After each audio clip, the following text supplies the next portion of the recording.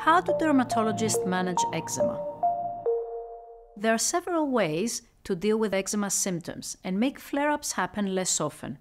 But what works can be different for everyone, so it's good to work with your regular doctor or a specialist like a dermatologist to find out what's best for you. Here are some common ways to treat eczema. Moisturizers. Putting on moisturizers regularly helps keep your skin from getting too dry and can prevent flare ups. Look for ones without added scents and that are especially for patients with eczema. You don't need to buy expensive products. Anti inflammatory creams. These creams or ointments help with redness, itching, and should be used on affected areas. There are different strengths, so use them the way your doctor says. Antihistamines. You can get these over the counter or with a prescription. They help stop itching and make it easier to sleep when your skin is flaring up. They should not be used routinely, but only for bad flare ups. Wet wrap therapy. This is when you put moisturizer on your skin and then wrap it with wet bandages. It helps your skin soak up moisture, which can be really helpful for more difficult cases. Bathing the right way.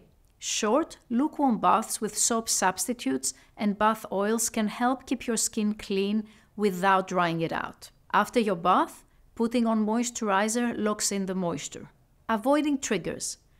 Finding out what makes your eczema worse and staying away from those things can help prevent flare ups. Light therapy. With a doctor's supervision, controlled exposure to UV light can help manage eczema symptoms. You would usually get this done in a doctor's office. Oral medicines. If your eczema is severe, your doctor might give you special medicines to take by mouth or injections that help you. Behavioral techniques, relaxation exercises, and managing stress can help lower the chances of stress related flare ups. Remember, it's important to work closely with your general practitioner or dermatologist to make a plan that's right for you. They can help you figure out the best ways to manage your eczema and make you feel better. Even though eczema is not curable, in most cases it is treatable.